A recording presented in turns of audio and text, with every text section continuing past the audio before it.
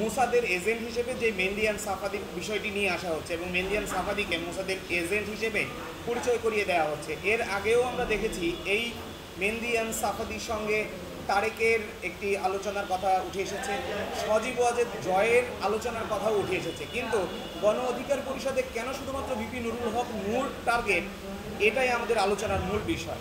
এখন দেখেন এইখানে মুসাদ ইস্যুতে বিপি নুরুল হক নূরকে টার্গেট করা হয়েছে।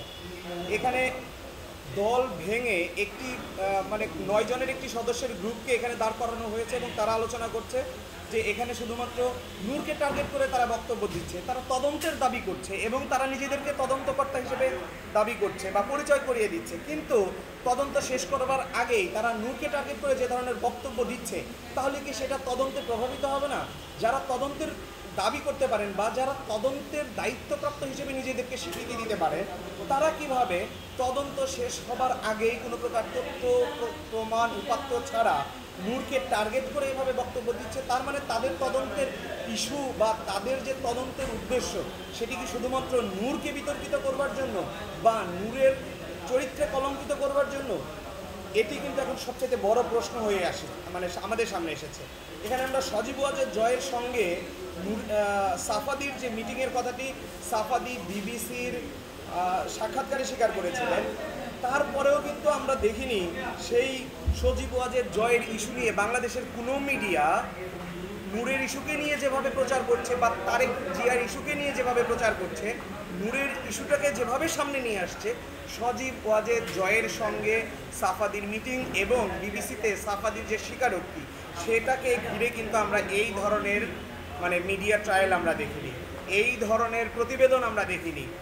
দেখেন, এখানে বীরেন শিকদারের সাথে আমরা কিছুদিন আগেই কলকাতায় বা ভারতে আমরা এই যে সাফাদির মিটিং দেখলাম, তার সাথে সাক্ষাৎ দেখলাম অন্তরঙ্গ ছবি দেখলাম, ঘনিষ্ঠ আলোচনার ছবি দেখলাম।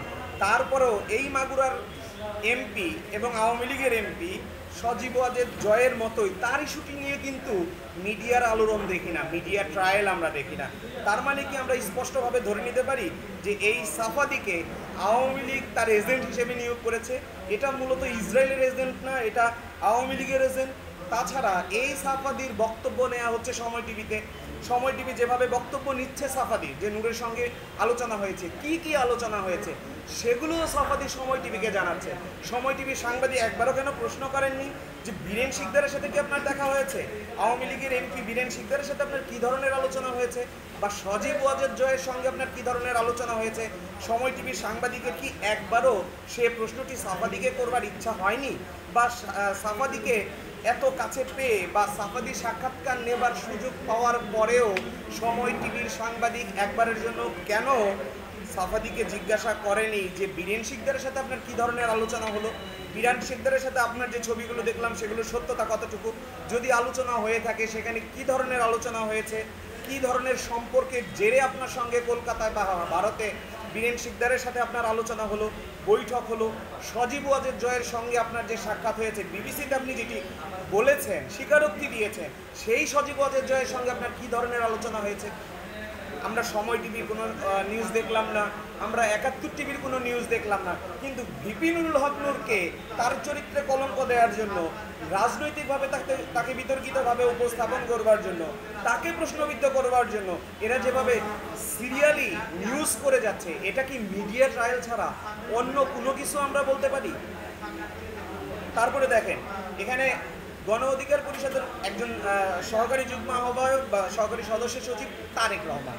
তিনি বিভিন্নভাবে কথা বলে যাচ্ছেন এবং তিনি নূরকে কাঠগড়ায় দাঁড় করিয়ে তিনি বিভিন্ন বক্তব্য দিয়ে যাচ্ছেন। তার প্রথম বক্তব্য এখানে মানে এ বর্তমান সরকার নূরের বিরুদ্ধে তদন্ত করবে। কে তদন্ত করবে? তদন্তকারী সংস্থা তদন্ত করবে। তাহলে যেই সরকার ইসরায়েলের হয়ে ইসরায়েলের সঙ্গে বাণিজ্যিক সম্পর্ক স্থাপন করেছে। দুই থেকে দুই হাজার তেইশ সাল পর্যন্ত আপনারা খবর নিয়ে দেখেন, বিভিন্ন পত্রপত্রিকা ঘেটে দেখেন। এই সরকার দুই হাজার নয় সাল থেকে ইসরায়েলের সঙ্গে দুই হাজার তেইশ সাল পর্যন্ত যে ধরনের বাণিজ্যিক লেনদেন করেছে, ব্যবসায়ীদেরকে যে ধরনের বাণিজ্যিক লেনদেনের সুযোগ তৈরি করে দিয়েছে এবং পাসপোর্ট থেকে, এই যে ইসরায়েল ব্যতীত শব্দটা তুলে দিয়ে ইসরায়েলে বাংলাদেশের পাসপোর্টের গ্রহণযোগ্যতা তৈরি করেছে সেই সরকার তদন্ত করবে, তারেক রহমান সেই দাবিটি করছেন। যেই গোয়েন্দা সংস্থা এই ইসরায়েলের কাছ থেকে আড়ি পাতার যন্ত্র কিনেছে, তাদের তদন্ত কাজকে সহজ করার জন্য, সেই তদন্ত কর্মকর্তাদের বা সেই তদন্ত বাহিনীর মানে তদন্ত দাবি করছেন তারেক রহমান।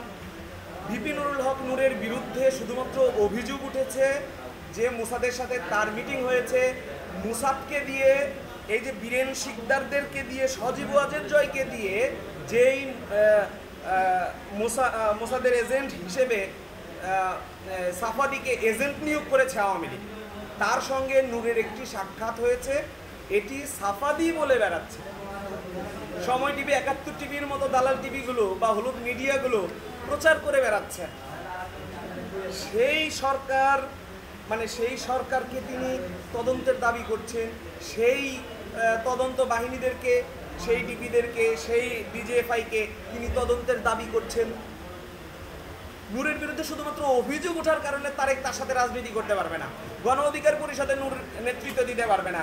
এটি যদি তারিখের ইচ্ছা হয়ে থাকে, তাহলে তারেক কেন একবারও নিজের অবস্থান পরিষ্কার করে না, যেই সরকার ইসরায়েলের সাথে বাণিজ্যিক সম্পর্ক স্থাপন করেছে। যেই সরকার ইসরায়েলকে স্বীকৃতি দিয়েছে ফুট থেকে ইসরায়েল ব্যতীত শব্দটাকে তুলে দিয়ে। মানে সেই সরকারের তদন্ত দাবি সেই সরকারের তদন্ত তারেক রহমান মেনে নেবে, সে যে আইন শৃঙ্খলা রক্ষাকারী বাহিনী বা যে গোয়েন্দা সংস্থাগুলো ইসরায়েল থেকে আরিপাতার যন্ত্র কেনা যন্ত্র দিয়ে তদন্ত করবে, তথ্য সংগ্রহ করবে, সেই বাহিনীর তদন্ত তারেক রহমান মেনে নেবে। তারেক রহমানের কাছে এটি খুব বড় প্রশ্ন হয়ে দাঁড়ায় না? তারপরে দেখেন, আমরা ফারুক হাসানের কথায় আসি। ফারুক হাসান গণ অধিকার পরিষদের অন্যতম একজন যুগ্ম আহ্বায়ক। তিনি বলছেন, নূরকে কেন গ্রেপ্তার করা হয় না? নূর এত বিরুদ্ধে বক্তব্য দিচ্ছে, সরকারের বিরুদ্ধে বক্তব্য দিচ্ছে, তারপরে তাকে কেন গ্রেপ্তার করা হয় না? তাহলে ফারুক হাসানের কাছে কি প্রশ্ন করা যায় না যে ফারুক হাসান কি এতদিন সরকারের বিরুদ্ধে বক্তব্য দেননি? তার মানে কি তিনি সরকারের এজেন্ট হয়ে গণ অধিকার পরিষদে যোগদান করেছিলেন? এর জন্য তাকে গ্রেপ্তার করার প্রশ্ন আসবে না? নূরকে গ্রেপ্তার করার প্রশ্ন আসবে? তিনি বলছেন, নূর সরকারের সাথে আতাত করে রাজনীতি করে গণ অধিকার পরিষদে নেতৃত্ব দেয়, এর জন্য সরকারের বিরুদ্ধে কথা বললেও নূরকে গ্রেপ্তার করা হচ্ছে না। এটা ফারুক হাসান বলছেন। তাহলে ফারুক হাসান যে সরকারের বিরুদ্ধে বক্তব্য দিচ্ছে, তাকে গ্রেপ্তার করা হচ্ছে না। যেই প্রশ্নগুলো বা যেই কারণে নূর গ্রেপ্তার হচ্ছে না, সেই একই কারণে কি ফারুকও গ্রেপ্তার হচ্ছে না? এই প্রশ্ন কি ফারুকের কাছে করা যাবে না? ফারুক হাসান কি এই প্রশ্নগুলোর উত্তর দেওয়ার জন্য প্রস্তুত নন? তারপরে দেখেন, ফারুক হাসানের সঙ্গে বা এই যে নয়জন বিদ্রোহী, এই নয়জন বিদ্রোহীর পাঁচজনের সঙ্গে আমাদের বসবার একটি সুযোগ হয়েছিল। আমরা তাদেরকে বলেছিলাম যে আপনারা পাঁচজনের একটি প্র- প্রতিনিধি দল আসেন। এই পক্ষ থেকে আমরা পাঁচজনের একটি প্রতিনিধি দল নেব। আমরা দুই পক্ষের সঙ্গে কথা বলে আলোচনা করে দেখব আপনাদের দাবি দেওয়া কি। এক জায়গায় এসে আমরা আপনাদেরকে মেলানোর চেষ্টা করব। সেখানে ফারুক হাসান স্পষ্টভাবে বলেছে, তারা নির্বাচনে যাবে না। কেন নির্বাচনে যাবে না? আমরা প্রশ্ন করার পরে তিনি বললেন, নির্বাচনে গেলে তারা জিততে পারবে না। মানে এই যে আগামীকাল বা দশ জুলাই যে কাউন্সিল হতে যাচ্ছে, সেই কাউন্সিলে তারা জিততে পারবে না। এর জন্য তারা কাউন্সিলে আসবে না। তার মানে কি তারা আগেই ধরে নিয়েছে যে কাউন্সিলররা তাদের কথা বিশ্বাস করছে না? এর জন্য তাদেরকে তারা নির্বাচিত করবে না। তাদের উপর তারা আস্থা বিশ্বাস রাখবে না। তাদের আস্থা বিশ্বাস নূরের উপরেই আছে। এর জন্য নূরের সঙ্গে তারা কাউন্সিলে পেরে উঠবে না। এই আশঙ্কা থেকেই কি তারা এই দল ভাঙার ষড়যন্ত্রে নেমেছেন? দলকে বিভক্ত করার ষড়যন্ত্রে নেমেছেন? এই প্রশ্নগুলো কিন্তু আসতেই পারে। দেখেন, এই যে মানে নিবন্ধন ইস্যু নিয়ে তারা সামনে আসছে। নিবন্ধন বাতিল করার জন্য এই মুসাবিন শমশেরের ছেলে, বিতর্কিত একজন ব্যবসায়ী, মুসাবিন শম- শমশেরের ছেলে ববি হাজ্জাজ। তার একটি নাকি রাজনৈতিক দল আছে। সেই রাজনৈতিক দলের ব্যানারে তিনি আজকে সংবাদ সম্মেলন করেছে। সিইসির কাছে চিঠি দিয়েছেন, নিবন্ধন যাতে না দেয়া হয়। স্বরাষ্ট্র মন্ত্রণালয়ে চিঠি দেওয়া হয়েছে, নূরের বিরুদ্ধে যাতে তদন্ত করা হয়। এই ববি হাজ্জাজ কি রাজনীতিতে মানে এখন জনপ্রিয় হতে চাচ্ছেন? যে নূরের বিরুদ্ধে বক্তব্য দিয়ে তাকে এখন জনপ্রিয় হতে হবে। মাঠে মানে তার গ্রহণযোগ্যতা নাই, অতএব নূরের বিরুদ্ধে বক্তব্য দিয়ে সরকারের আনুকূল্য মানে আনুকূল্যতা পেয়ে তিনি যদি তার দলটাকে নিবন্ধন করায় নিতে পারেন, বা তিনি যাতে সরকারের চাটামি করে, বা সরকারের আনুকূল্যতা পেয়ে, সরকারের সহানুভূতি পেয়ে তিনি যাতে রাজনীতিতে একটি মানে জায়গা করে নিতে পারেন, আগামী সংসদে তিনি যাতে একটা চেয়ার পান, এটাই কি তার উদ্দেশ্য? যে নূরকে কেন্দ্র করে তিনি এখন জনপ্রিয় হবেন? এরকম নূরকে কেন্দ্র করে জনপ্রিয় হওয়ার জন্য মাঠে যদি নেমে থাকেন, তাহলে ববি হাজাজের বিরুদ্ধে আমার কিছু বলবার নাই। তবে ববি হাজাজের কাছে আমার প্রশ্ন, আপনি যেই সরকারের বিরুদ্ধে এতদিন বক্তব্য দিলেন, যেই সরকারের আন্ডারে নির্বাচনে যেতে বিশ্বাস পান না, যেই সরকারের আন্ডারে মানে আইন শৃঙ্খলা রক্ষাকারীকে বিশ্বাস পাচ্ছেন না, নির্বাচন কমিশনকে বিশ্বাস পাচ্ছেন না নির্বাচন পরিচালনার জন্য, সেই নির্বাচন কমিশনে আপনি চিঠি দিয়েছেন নিবন্ধন যাতে না দেওয়া হয়, তার জন্য সেই সরকারের কাছে তদন্ত দাবি করছেন। সেই সরকারের স্বরাষ্ট্র মন্ত্রণালয়ের কাছে গিয়ে আপনি চিঠি দিয়েছেন। তার মানে তলে তলে টেম্পু চালাচ্ছেন, আর আমাদের বিরুদ্ধে হরতাল ডাকছেন। দেখেন, এইখানে যে কাউন্সিলের ইস্যু করে আগামী দশ তারিখে যে কাউন্সিল দশই জুলাই যে কাউন্সিল সেই কাউন্সিলকে বিতর্কিত করবার জন্য এই যে যে দল তারা বিভিন্ন ধরনের সংবাদ সম্মেলন দিয়ে যাচ্ছে, তারা বিভিন্ন ধরনের বক্তব্য দিয়ে যাচ্ছেন। এ ধরনের কাজ করে কাউন্সিলকে বিতর্কিত করা যাবে না। আপনারা তো কাউন্সিলে আসতেই ভয় পাচ্ছেন না। আপনারা আগেই আন্দাজ করতে পেরেছেন যে আপনারা কাউন্সিলে নির্বাচিত হতে পারবেন না। কাউন্সিলররা আপনাদের উপরে আস্থা রাখছে না। এর জন্য তো এই যে নয়জন, পাঁচজন লোক মিলে দাঁড়ে দাঁড়ে ফ্যাঁ করে ঘুরে বেড়াতে হচ্ছে। কার্যালয়ে আসতে সাহস পাচ্ছেন না। কার্যালয়ে এখনও দেখেন কালকে রাত দুইটার সময় আমরা কার্যালয় ত্যাগ করেছি। দুইটা পর্যন্ত কার্যালয় সরগরম ছিল নেতাকর্মীদের পদচারণায়। তাহলে নেতাকর্মীদের পদচারণায় যে কার্যালয় মানে উৎসবমুখর পরিবেশ বিরাজ করছে। যেখানে বিভিন্ন লগ্ন প্রতিদিনে কার্যালয় আসছে, নেতাকর্মীরা কার্যালয়ে আসছে। সেখানে আপনারা কার্যালয়ে আসতে ভয় পাচ্ছেন। আপনারা প্রেস ক্লাবে গিয়ে বিবৃতি দিচ্ছেন। আপনারা অমুক জায়গায় বসে মিটিং করছেন। নির্বাচন কমিশনে গিয়ে ধর্ণা দিচ্ছেন। তার মানে কি সরকারের সাথে আপনাদের এই আপাত হয়েছে? যে গণ অধিকার পরিষদে ভেঙে সরকার আপনাদেরকে আপনাদের নামে নিবন্ধন দেবে, এর জন্য আপনারা নির্বাচন কমিশনে গিয়ে ধর্ণা দিচ্ছেন? রেজা কিবরিয়াকে নিয়ে দল ভাঙার ষড়যন্ত্র করছেন?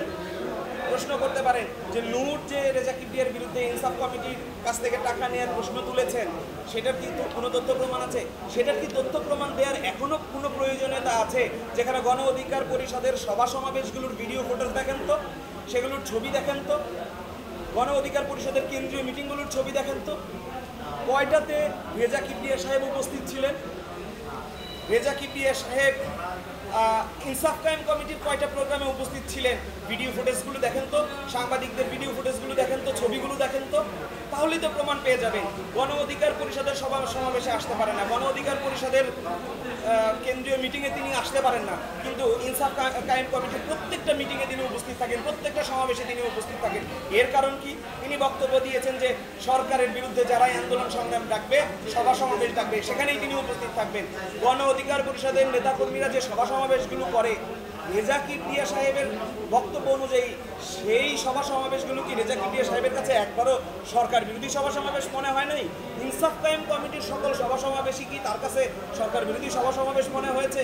ইনসাফ কায়েম কমিটির প্রোগ্রামগুলো সম্পর্কে তিনি এত সচেতন কেন? ইনসাফ কায়েম কমিটির প্রোগ্রামগুলোতে তিনি এত আস্থাশীল কেন? এই আস্থা রাখবার কারণ কি? এই সচেতন হবার কারণ কি? নিজের দলের প্রোগ্রামে উপস্থিত হতে না পারার পরেও ইনসাফ ক্রাইম কমিটির প্রোগ্রামে উপস্থিত হবার জন্য তার যে উদ্গ্রীব, তার যে আকাঙ্ক্ষা, এই আকাঙ্ক্ষার উদ্দেশ্য কি? এই প্রশ্নগুলো কিন্তু থেকেই যায়। এটা রেজা কিবরিয়া সাহেব এখনও দেশের বাইরে আছেন? তিনি চিকিৎসার কথা বলে দেশের বাইরে আছেন। আসলে চিকিৎসার কথা বলে দেশের বাইরে আছেন নাকি বাইরে আওয়ামী লীগের নেতাদের সাথে আর গোপন কোনো বৈঠক হচ্ছে? আর এইখানে কিছু নেতাকর্মীদেরকে নামিয়ে দেওয়া হয়েছে, পাঁচ সাতজন মিলে ঘোরাঘুরি করছেন, দল ভাঙার জন্য তাদেরকে দিয়ে বক্তব্য দেওয়াচ্ছেন, লাইভ করাচ্ছেন।